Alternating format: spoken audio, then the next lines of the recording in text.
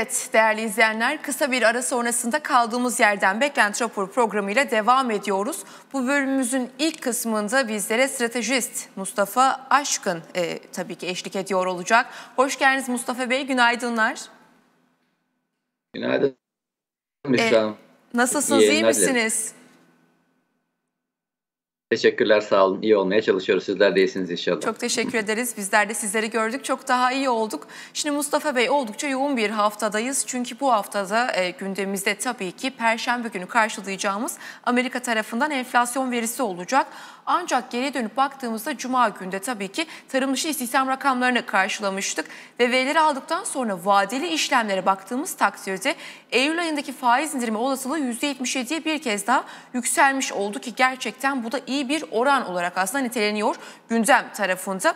Diğer taraftan da geçen ay piyasa 40 bas puan faiz indirimi beklerken 53 bas puana yükseltildi. Yani demek şu ki şu anda piyasada iki faiz indirimine kesin gözüyle bakılıyor. İki faiz indirimi cepte. Tabii ancak bu doğrultuda bu hafta gelecek olan yine enflasyon verisi de bu konuya çok daha da açıklık getirecekken Powell'ın söylemleri de tabii ki enflasyon öncesinde konuşacak Sayın Powell söylemlerini gerçekleştirecek. E, o noktada oldukça önemli olacak. Şöyle ki piyasa yeniden iyimserliğe bürünüp Eylül olasılığını e, artırmaya başladı diyebilir miyiz? Ve enflasyon verisine neler bekliyoruz? Hangi kalemlere bakacağız? E, esasında süreci geçmişten ileriye doğru e, götürmek gerekiyor. Şöyle ki Amerika Birleşik Devletleri'nde son derece katı ve yapışkan bir enflasyonist yapı var. Türkiye'de de benzer bir süreç var. E, dolayısıyla FED e, burada oldukça temkinli hareket etmek durumunda. Hatırlanacağı üzere e, daha FED faiz arttırırken ne zaman faiz indirir tartışmasını yapan bir e, analiz grubu da vardı Amerika Birleşik Devletleri'nde özellikle. E, ve o zamanlar içinde çok erken olduğunu ifade etmeye çalışıyordum. Günümüze geldiğimizde ise Amerika'daki veri trafiğine ve veri yoğunluğuna bağlı olarak da bir değerlendirme yapacak e, Amerikan Merkez Bankası. Bu akşam e, Powell'ın konuşmaları bu yüzden önemli. Bu verilerde sadece işsizlik, istihdam, e, saatlik ücret, verimlilik değil, kapasite kullanım oranlarından sonra büyüme hızlarına e, ve alt kırılımlarına kadar pek çok parametreye bakıyorlar. E, muhtemeldir ki bu yıl içinde yapılırsa bir tane yapılır faiz indirimi. Daha önce yapılması, zamanlama anlamında yapılması ile ilgili de bir müddet daha beklememiz, özellikle bu akşamki Powell'ın konuşmasından ipuçları bulmamız gerekiyor. Erken indirilecek bir faiz, e, erken vazgeçilecek bir parasal gevşeme, e, daha doğrusu sıkılaşma ciddi derecede e, enflasyonu tekrar arttıracaktır. Amerika'da enflasyon beklentilerin gelecek yılda bir parça gerilemiş olması ile ilgili bir data da geldi dün akşam. Olumlu karşılanabilir. Ama dediğim gibi FED aceleci olmayacak, tedrici olacak. Zaman zaman da şahin mesajlar vererek piyasayı dengelemeye çalışacak gibi geliyor bana. 2025'te ee, faiz indirimleri ve biraz parasal gevşeme olma olasılığı daha yüksek. Bir de unutulmaması gereken süreç var. O da Amerika'da Kasım'da seçimlerin olacağı. Ee, seçim öncesi ve sonrası e, FED ne derece topa girecek? E, yeni gelecek aday veya e, değişim olacak mı olmayacak mı belli değil. E, Trump'la e, şimdiki başkan Biden'ın ekonomi politikaları birbirine taban tabana zıt. Özellikle Trump baskısı olursa çok daha hızlı bir faiz indirme olur mu beklentilerine sahibiz. Dolayısıyla özellikle yazın sonu, sonbaharın başı e, Fed'in bundan sonraki programı açısından önem taşıyor. Hem veri anlamında hem siyaset anlamında. Aceleci olmayacak ama tedrici olarak bir parça gevşemeye gitmesini de doğal karşılamak gerekiyor. Ee, peki şimdi tabii ki enflasyon rakamları önemli dedik bu hafta içerisindeki perşembe günü açıklanacak oranlar doğrultusunda. Ee, bir yandan da 10 yıllık tahvil tarafına baktığımızda 4.70'lere 5'lere yakın sadıktan sonra baskılanan yine son olarak da beklentileri aşan istihdam sonrasında da bir diğer katalizör olan şu anda enflasyon rakamlarını yakından bekleyen bir yapıyla karşı karşıyayız. Ve an itibariyle 4.28 seviyelerindeyiz. 4.30'lardan da şu anda gerilemiş durumdayız. Tahvil faizlerinde yükseliş e, bitti mi dersiniz? Yani gelen veri ve yine e, tahvil faizleriyle korelasyon nasıl okunmalı şu andaki mevcut yapıda? Enflasyon beklentileri vade uzayınca düşmeye başladı Amerika'da. Bu önemli bir başarı esasında. Fed'in sağladığı başarı. Dolayısıyla uzun tarafta yani uzun vadeli tahvillerde de e, fiyat aşağı gelmesi, normal karşılanması gerekiyor. Ben bir parça daha e, Amerika'daki 10 yıllıkların aşağı geleceği kanaatindeyim. Eğer işler yolunda gider ve faiz indirimine rağmen enflasyonda bir yükseliş olmazsa e, dörtlerin altına gelmesinde özellikle 2025'in başında olası görüyorum. Kısa taraf biraz daha e, ani kararlar veriyor. O da e, piyasadaki gelişmeler, spekülatif hareketler, e, gelen datalarla ilgili beklentilerin bir anda değişmesiyle ilgili e, durumdan kaynaklanıyor. Dolayısıyla kısa taraf bir parça daha yüksek olabilir ama uzun tarafa ve orta vadeye gidilince yavaş yavaş Amerikan faizlerinde bir gerileme görüleceği kesin.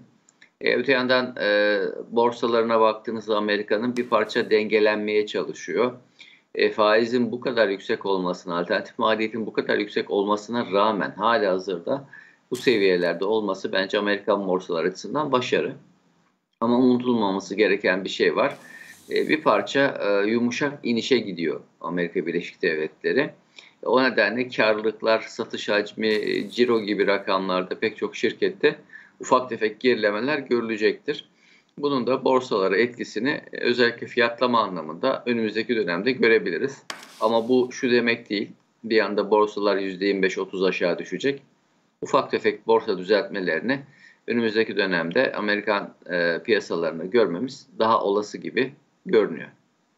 E, peki şimdi son zamanlarda özellikle merkez bankaları tarafından karşıladığımız faiz oranı kararları açısından oldukça yoğun bir takvim e, içerisindeydik.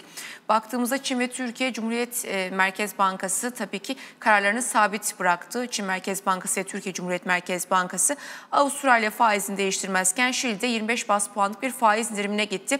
Ama en çok dikkat çeken de İngiltere'nin %2'lik enflasyon hedefine ulaşmasına rağmen piyasa beklentileri doğrultusunda politika faiz oranı oranını 16 yılın en yüksek seviyesinde sabit bırakmayı tercih etti.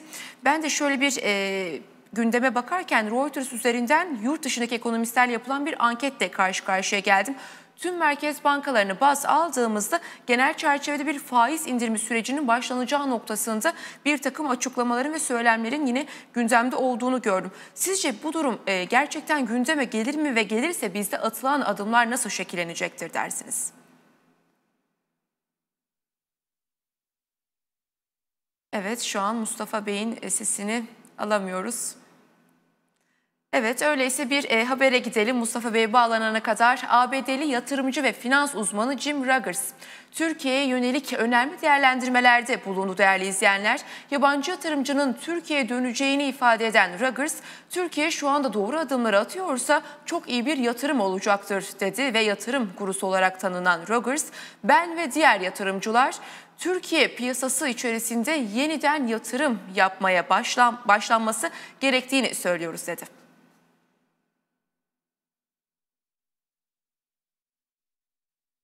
Evet şu anda haberimizde de sanırım bir teknik sıkıntı var devam edeceğiz.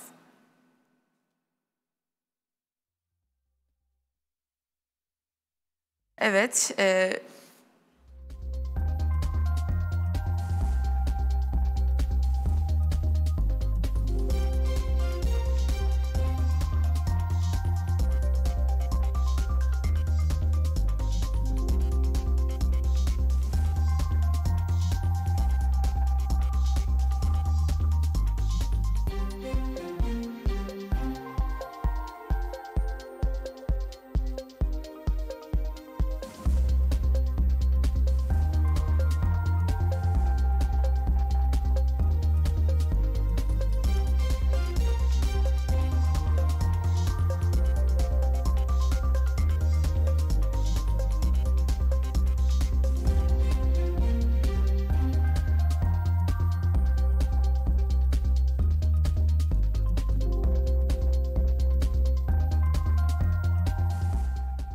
Evet efendim şimdi fiyatlamalar noktasında bir göz atalım dilerseniz haftanın ikinci işlem gününde salı sabahında BIST 100 e, endeksinin öncelikle 10.864 puandan dün gün e, haftanın ilk işlem gününü kapattığını söyleyelim ki yine günlük değişim içerisinde 12.29'luk bir oran karşıladı bizleri. Baktığımızda işlem hacmi ise 93.823 milyar TL olarak güncellenmiş oldu. Bugün bizleri nasıl bir açılış bekleyecek? Tabii ki yatırımcılar tarafından bu da merak konusu. Geçtiğimiz hafta pazartesi gününe Mehmet Şimşek'in açıklamaları, vergi paketi üzerineki açıklamaları bizi biraz daha satış ağırlıklı başlatsa dahi hafta ortasında satışların biraz daha kesildiğini ve haftanın son işlem günde bir o kadar iyi kapattığımızı görmüştük. Bu haftada iyi bir başlangıç yaptık. Dolar TL 32.73, Euro TL 35.44, sepet kur cephesi 34 seviyesi ve gram altın tarafı ise 2489 TL'den işlemler gerçekleştiriyor. %0.34'lük primli bir hareket doğrultusunda.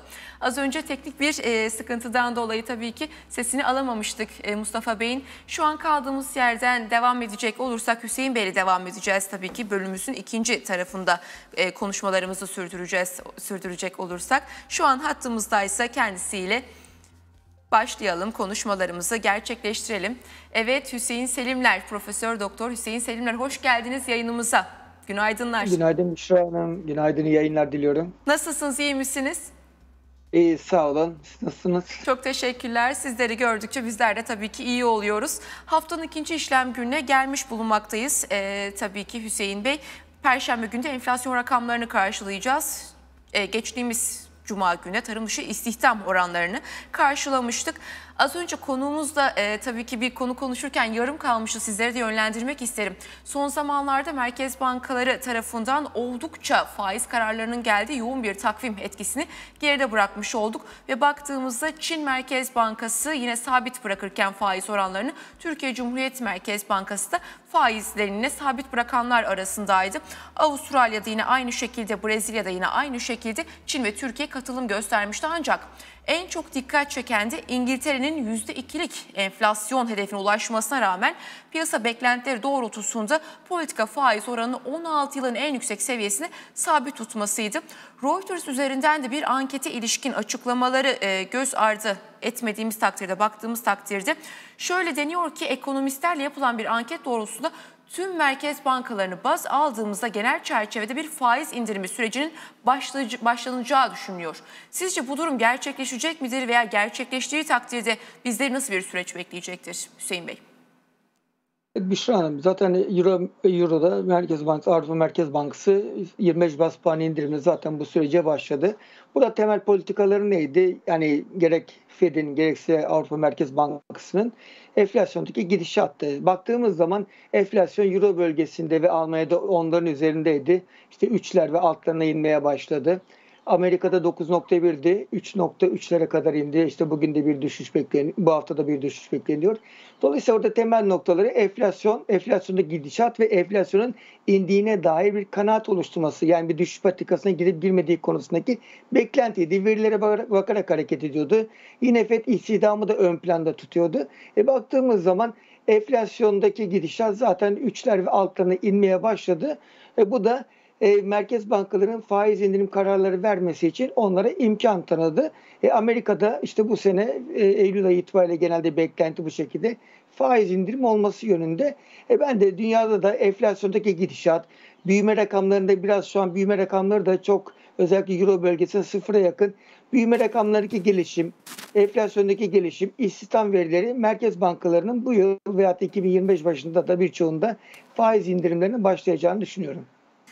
Ee, peki şimdi tabii ki bu noktada küresel taraftan biraz daha yurt içerisine kaymak gerekirse bu yıl itibariyle önümüzdeki senenin ilk ayları içinde de yine Türkiye Cumhuriyet Merkez Bankası'nın faiz indirme gidebilme olasılığını sormak istiyorum sizlere. Çünkü son gelen enflasyon oranlarıyla beraber aslında bu beklentilerin çok daha kuvvetlendiğini görmüş olduk. Nasıl değerlendirmek gerekiyor bu süreci?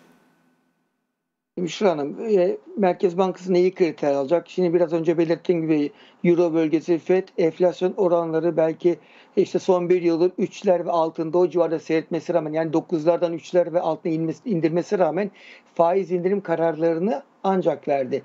Merkez Bankası ne zaman bu hareketi yapmalı? E baktığımız zaman 2021 yılında faiz indirimine başladı Eylül ayında. Genelde tavır şuydu. Politika faizini enflasyon üzerinde belirleyeceklerdi. Ama baktığımız zaman şu an enflasyon oranı işte %71'lerde, politika faiz oranı %50'lerde. E, faiz inme gidebilmesi için en azından enflasyon düştüğünü görmesi gerekiyor. Enflasyon ne zaman e, düşmeye başladı. İşte Haziran ayında 71.60 oldu. E, bu e, Temmuz ve Ağustos ayında baz etkisinden faydalanırsak Eylül ayı itibariyle enflasyon oranı ya da Eylül ayı itibariyle Ekim'de açıklanacak doğal olarak %45'ler seviyesine gelir. O zaman enflasyon faiz, e, Merkez Bankası faizin altına indiği zaman Merkez Bankası faizi gündeme getirebilir. Ama enflasyon düştüğü gibi bu harekete başlamalı mı? Tabii ki o verilere bakılacak ama en azından biz faiz indirimini gündeme getirebilmemiz için bir Ekim ayını görmemiz gerekiyor. Ekim ayı itibariyle baz etkisinden faydalanıp enflasyon gerçekten o dezenflasyon sürecini iyi değerlendirebilirse Ekim ayı gibi faiz indirimi gündeme gelebilir ama bence 2025 itibariyle başlaması daha sağlıklı gibi görünüyor. Peki şimdi 2025 yılının ilk aylarını görmemiz gerekiyor dedik tabii ki. Ancak Eylül veya Ekim ayında ya da bu yıl içerisinde bir faiz indirimi oldu, oldu, oldu ve geldi. Şimdi evet baz etkisi kaynaklı bir e, gevşemenin olduğunu biliyoruz ancak birçok perspektifte yine zamların da yine ardı ardına gelmeye devam ettiği de gündemde oldukça konuşulanlar arasında. Dolayısıyla sadece baz etkisini göz önünde bulundurarak Merkez Bankası'nın faiz politikasını değerlendirmek ne kadar doğru acaba? Tabii ki doğrudur. İşte biraz önce belirttiğim gibi Euro ve FED hı hı. son birkaç aydır e, enflasyon belirli e, seviyelerde olması rağmen faiz indirim kararını henüz doğru düzgün vermiş değil. Avrupa Merkez Bankası bir kere düşüş yaptı. Burada bir süreç yani Merkez Bankası Başkanı da geçen günler açıklamıştı. Enflasyon oranı 1.64 geldiği zaman yani bir tek veriyle hareket edilmemesi gerektiği şeklinde bir beyanat vermişti. Dolayısıyla zaten hep para politikasının gecikmeli etkilerinden bahsediyor e, açıklamalarda her yetkililer. E, burada alınan kararın gecikmeli etkileri olduğu için bu e, enflasyon düşüşün alınan kararların etkilerini görmek lazım. Yani sadece enflasyon politika faizinin altına indiği zaman e, direkt politika faizi indirmeye başlamak da ters etki yapabilir. Yani burada biz sadece bu konuşmaları ancak Ekim gibi yapabiliriz. Enflasyon oranı politika faizinin altına indiği takdirde ama bu da hemen indireceğimiz anlamına gelmiyor. Çünkü biz e, baz etkisinden faydalanmak demek fiyatların düştüğü anlamına gelmiyor. Sadece biz yıllık bazda baz etkisinden dolayı enflasyon oranı düşecek. Fiyatlar düşmeyecek. Baz etkisi bize sadece bu bir imkan veriyor ama size belirttiğiniz gibi Temmuz ayına ötelenen birçok zam oldu. Vergilerde artış olacak. Bunlar da tüfeği doğal olarak yukarı çekme ihtimali doğal olarak var. Ama ne kadar çekecek yapılacak zamlar ve açıklamalarla olacak. Dolayısıyla bizim sadece gündeme getirebiliriz ama enflasyondaki kalıcı düşüş görebilmemiz için baz etkisinden kurtulup gerçekten yılın son çeyreğinde e, baz etkisi hariç enflasyondaki gelişmeleri gördükten sonra bu kararı vermemiz gerekecek. Peki şimdi ileriki dönemde ticaret performanslarımız ne yönde olur diye de bir soru yöneltmek istiyorum sizlere. İhracat noktasını konuşalım dilerseniz. Çünkü baktığımızda geçtiğimiz haftaya kadar Fransa'da Avrupa Birliği'ni aslında derinden etkileyen bir e, siyasi süreçten bahsediyorduk. Ve aşırı sağ olarak lanse edilen partilerin yönetime geleceklerine ilişkin beklentiler ağırlıktayken bu durumun aksine sol grubun başarısıyla sürecin tamamlandığını görmüş olduk. Dolayısıyla şunu sormak istiyorum aslında sizlere. Avrupa cephesindeki mevcut yapının korunduğuna ilişkin tüm bu beklentiler Türkiye'nin dış ticaret ve ihracat noktasını nasıl etkileyecektir önümüzdeki dönem zarfı içerisinde? Tabii ki Avrupa'da birçok siyasi gelişme olur ama ekonomi gelişmeye baktığımız zaman da ekonomide de istenilen daha seviye yakalanmış değil. Avrupa'da Euro bölgesinde birçok ülkenin şu an büyüme rakamları özellikle Fransa'nın, Almanya'nın ve genelde Euro bölgesine baktığımız zaman sıfırlara yakın. Almanya ve Euro başta olmak üzere. E, dolayısıyla bizim de ihracatta ilk baş ülke arasında e, ihracatta birinci, ithalatta da üçüncü ülkemiz Almanya. Bunun yanında İtalya'da var. E, ihracat iklim endeksine bakıyoruz. Bir yılın zirvesinden geriledi. Şu an 51.6'ya düştü. Bunun yanında imalat PMI rakamlarımız da 50'nin altında. Avrupa özellikle Almanya'da çıkan ihracat rakamlarına baktığımız zaman ihracat ve ithalatı şu an e, son açıklanan verilere göre ikisi düşmüş durumda.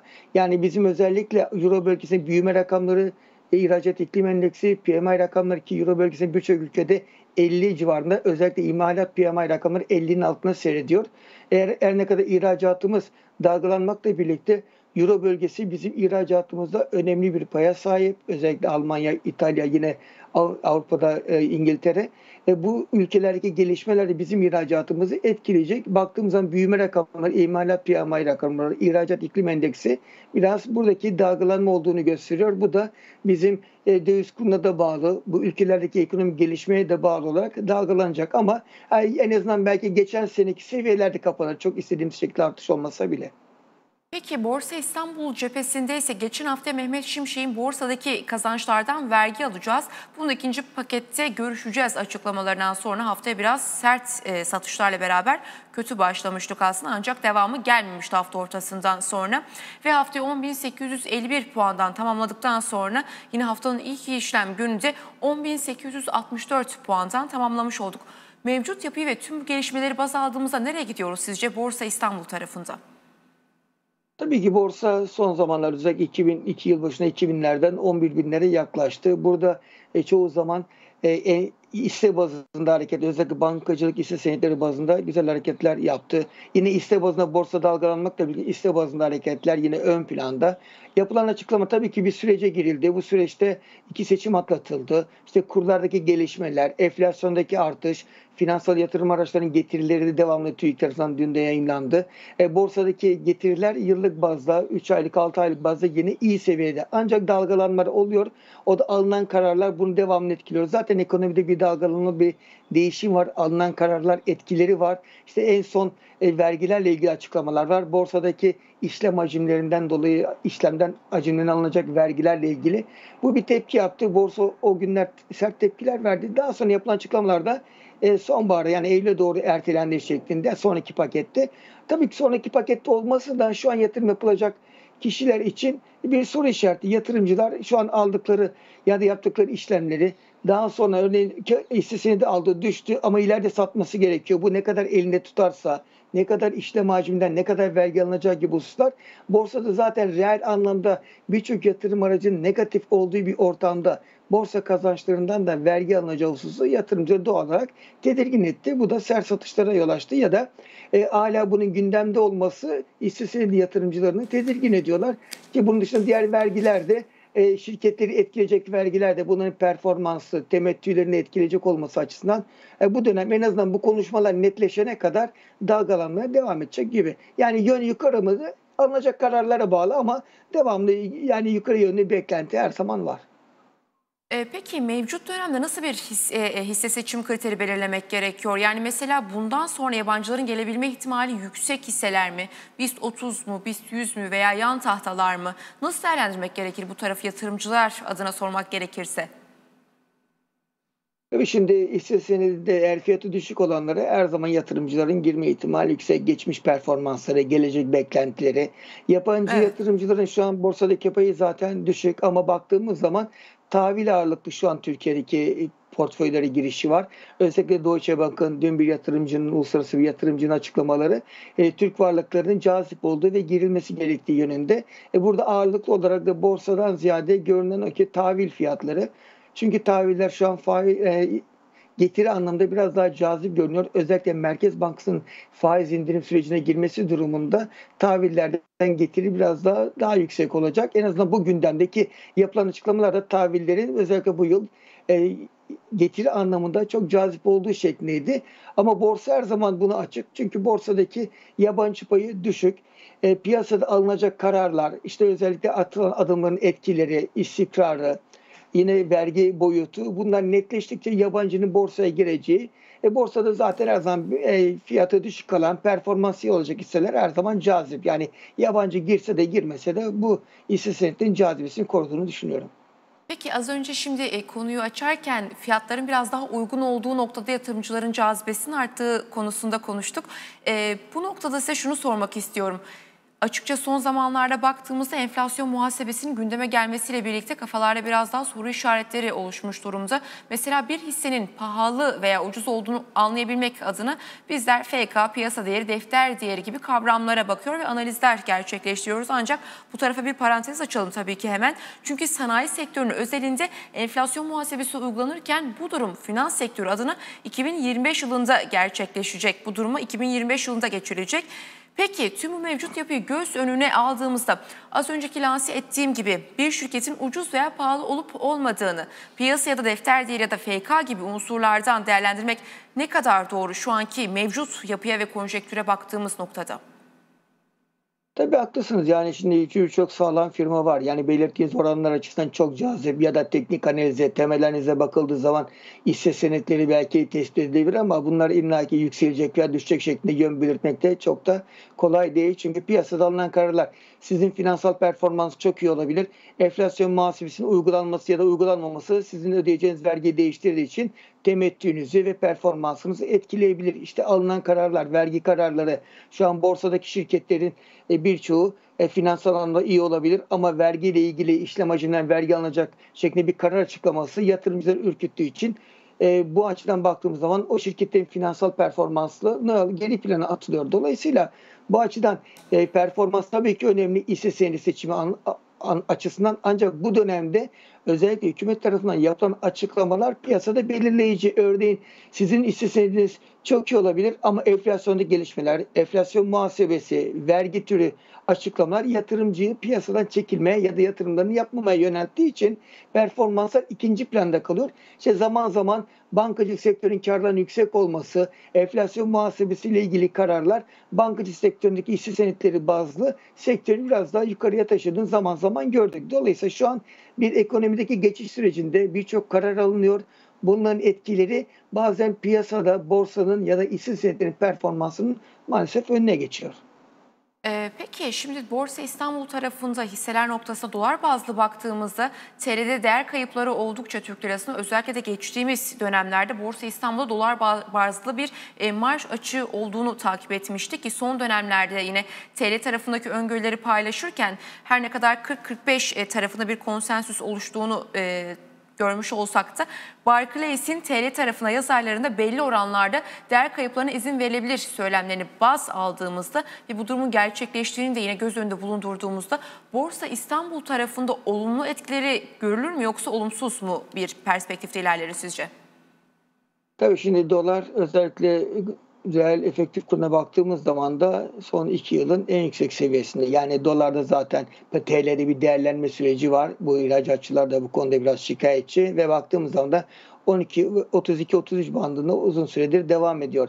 Tabii ki bu baktığımız zaman eğer dolarda bu yatay seyir devam ettiği sürece ve e, TÜİK'in açıkladığı yatırım araçlarının, finansal yatırım araçlarının reel getirine baktığımız zaman da dolar, euro bu türlü yatırım araçları zaten son dönemde reel anlamda kaybettiriyor. Dolayısıyla e, vatandaş da ya da yatırımcı da ne yapıyor? Diğer yatırım araçlarına yöneliyor. Ama eğer dolarda böyle e, ya da TL'de önümüzdeki dönem söylendiği gibi bir değer değer kaybı olması anlamında bu da doları da cazip hale getirebilir. Ne, bunun ne kadar artacağı, enflasyon oranında artıp artmayacağı, e, Borsa İstanbul'un getirilerine baktığımız zaman borsa zaten son dönemde en cazip yatırım aracı. Zaman zaman işte kısa dönemde altın yine bu araya getiri anlamında girdi ama borsa bu istikrarını koruyor yani getiri anlamında. Eğer euro e, yabancı para, dolar, euro eğer TL değer kaybolup bu yabancı para birimlerine kurlarında artma olması durumunda tabii ki zaman zaman yatırımcılar kısa vade olarak bu yatırım araçlarına da dönebilir. Ama burada ben şu an hükümetin aldığı politikalar ya da e, rezervlere baktığımız zaman iyi seviyelerde. Kur korumalı mevduattan çıkış e, iyi gidiyor. Bu anlamda ben bors, e, şu anki e, kur seviyelerinin borsaya e, alternatif yatırım olarak öngörmüyorum. Yani e, kişiler artık döviz sürecinden ya da yabancı para yatırım sürecinden biraz daha e, çıkmış durumda. Dolayısıyla borsa bu açıdan yönü daha açık. Yani e, yabancı para getirileri borsaya şu an alternatif olarak görmüyorum. Ee, peki şimdi tabii ki 10 gün sonra 19 Temmuz tarihinde Moody's üzerinden yine Türkiye ilişkin bir not değerlendirmesi de mevcut olacak. İlk sorum sizlerin beklentisine yönde. İkinci olarak da sizce Borsa İstanbul'a gelen sonuç itibariyle bir yükseliş ivmesi kazandıracak mı dersiniz bu durum? Tabii son dönemde özellikle not artışı da görünümlerdeki pozitif seyir devam ediyor. Moody's'den de not artışı bekliyor. Hatta e, bir ve iki not artışı bekleyenler de var. Tabii ki not artışları yapılmasına karşın bizim hali yatırım yapılabilir seviyelerin altında olmamız bir olumsuz ama en azından not artışının devam etmesi olumlu. Çünkü yabancı özellikle kurumsal yatırımcılar not artışına özellikle önem veriyorlar. Yatırım yaptıkları zaman belli seviyelerde olmasını istiyorlar. Ama bu e, pozitif bir gösterge olması açısından ve yabancıların da borsaya gelmesi açısından önemli. Dolayısıyla not artışları bizim yabancıların gerek tahvillere gerekse borsaya girişi açısından önemli ve bu not artışlarının da borsa için pozitif etki yapacağını düşünüyorum. Evet, e, peki baktığımızda yine son olarak da swap kanalları noktasına değinecek olursak son bir dakika içerisinde kısaca bir yorumunuzu almak gerekirse yavaş yavaş swap kanallarındaki kısıtlamaların gevşemesine dair başlıkları konuşuyoruz ki son dönemlerde yine Sayın Mehmet Şimşek'in de bakın da bir takım açıklamalarını takip etmiştik bu konu üzerine çalışıyoruz, çalışılıyor şeklinde. Sizce swap kanalları bir önce açılmalı mı yoksa belli bir görünümü sağladıktan, makul politikaları izledikten sonra mı açmak gerekiyor? Evet daha önce e, bu kanal açık olduğu zaman çeşitli spekülasyonlarla faiz oranları yükselmişti. Kurda hızlı hareketlenmeler olmuştu. E, Çeşitli sınırlamalar getirildi. E, şu an rezerv miktarları, e, faiz oranlarındaki dalgalanma biraz aşağı indikten sonra şu an için e, açılabilir. Çünkü e, e, şu an kurlardaki seviye, rezerv miktarları Türkiye'de en azından dövize müdahale edilebilecek seviyelerde ama hala belli bir sürede beklense de e, olabilir. Neden? Şu an bir geçiş sürecindeyiz. Rezervlerimiz 148 milyar dolara geldi ama bir takım kurlarda hareketler sonucu Merkez Bank satışları da devam ettiğini görüyoruz. Yani kur seviyesi, faiz seviyesi biraz daha istikrarda olduktan sonra bu kanalına çıkması en azından bizim ekonomik kararlar ve sonuçlar açısından daha faydalı olacağını düşünüyorum. Çok teşekkür ederiz. Evet, e, değerli katkılarınız ben ve analizleriniz için haftanın ikinci işlem gününde. Evet efendim, e, bugün bizlere Mustafa Aşkın ve Hüseyin Selimler Beklenti Raporu programında eşlik etti. Tabii ki bizlere ışık tutmuş oldular haftanın ikinci işlem günü salı sabahında. Biz de burada programımızı noktalandırdığımızı belirtelim ve yarın yine aynı saate görüşeceğimizi de bu noktada söyleyerek hoşçakalın diyelim.